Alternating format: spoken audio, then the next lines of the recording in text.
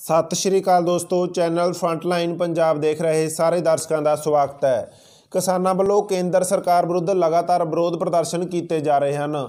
ਜਦੋਂ ਤੋਂ ਮੋਦੀ ਸਰਕਾਰ ਵੱਲੋਂ ਤਿੰਨ ਖੇਤੀ ਕਾਨੂੰਨਾਂ ਨੂੰ ਪਾਸ ਕੀਤਾ ਗਿਆ, ਉਹਨਾਂ ਨੂੰ ਹਰ ਥਾਂ ਵਿਰੋਧ ਦਾ ਸਾਹਮਣਾ ਕਰਨਾ ਪੈ ਰਿਹਾ ਹੈ। ਪੰਜਾਬ, ਹਰਿਆਣਾ ਤੇ ਉੱਤਰ ਪ੍ਰਦੇਸ਼ ਮਗਰੋਂ ਉੱਤਰਾਖੰਡ ਵਿੱਚ ਵੀ ਬੀਜੇਪੀ ਦੀਆਂ ਮੁਸ਼ਕਲਾਂ ਵੱਧ ਗਈਆਂ ਹਨ। ਖੇਤੀ ਕਾਨੂੰਨਾਂ ਖਿਲਾਫ ਅੰਦੋਲਨ ਦੀ ਹਮਾਇਤ ਵਿੱਚ ਉੱਤਰਾਖੰਡ ਦੇ ਕਿਸਾਨਾਂ ਨੂੰ ਵੀ ਬੀਜੇਪੀ ਲੀਡਰਾਂ ਦੇ ਬਾਈਕਾਟ ਕਰਨ ਦਾ ਸੱਦਾ ਦਿੱਤਾ ਗਿਆ। ਇਹ ਸੱਦਾ ਸੋਮਵਾਰ ਨੂੰ ਉੱਤਰਾਖੰਡ ਦੇ ਜ਼ਿਲ੍ਹੇ ਸ਼ਹੀਦ ਊਧਮ ਸਿੰਘ ਨਗਰ ਵਿੱਚ ਸੰਯੁਕਤ ਕਿਸਾਨ ਮੋਰਚੇ ਦੀ ਅਗਵਾਈ ਵਿੱਚ ਹੋਈ ਕਿਸਾਨ ਮਹਾਪੰਚਾਇਤ ਦੌਰਾਨ ਦਿੱਤਾ ਗਿਆ। ਇਸ ਦੌਰਾਨ ਕਿਸਾਨਾਂ ਨੂੰ ਅਪੀਲ ਕੀਤੀ ਗਈ ਕਿ ਉਹ ਫਸਲਾਂ ਨੂੰ ਨਾ ਨਸ਼ਟ ਕਰਨ ਅਤੇ ਕਾਰਪੋਰੇਟ ਘਰਾਣਿਆਂ ਦੇ ਬਾਈਕਾਟ ਵਿੱਚ ਹੋਰ ਕਾਰਪੋਰੇਟਾਂ ਨੂੰ ਸ਼ਾਮਲ ਕਰਨ ਦਾ ਐਲਾਨ ਕੀਤਾ। ਉਹਨਾਂ ਸੁਨੇਹਾ ਦਿੱਤਾ ਕਿ ਕਿਸਾਨ ਸੰਘਰਸ਼ ਕਿਸੇ ਇੱਕ ਰਾਜ ਤੱਕ ਸੀਮਿਤ ਨਹੀਂ, ਸਗੋਂ ਉੱਤਰ ਤੋਂ ਦੱਖਣ ਤੱਕ ਫੈਲਿਆ ਹੋਇਆ ਹੈ।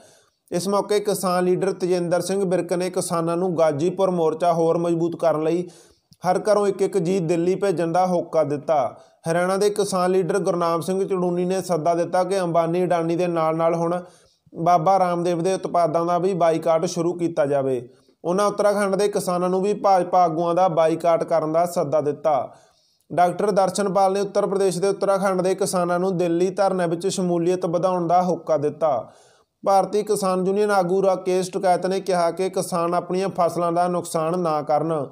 ਕਿਉਂਕਿ ਉਹ ਫਸਲਾਂ ਨੂੰ ਪੁੱਤਾਂ ਵਾਂਗ ਮਿਹਨਤ ਨਾਲ ਪਾਲਦਾ ਹੈ। ਟਕੈਤ ਨੇ ਕਿਹਾ ਕਿ ਉਹਨਾਂ ਦੇ ਬਿਆਨ ਨੂੰ ਤੋੜ ਮਰੋੜ ਕੇ ਪੇਸ਼ ਕੀਤਾ ਗਿਆ ਹੈ।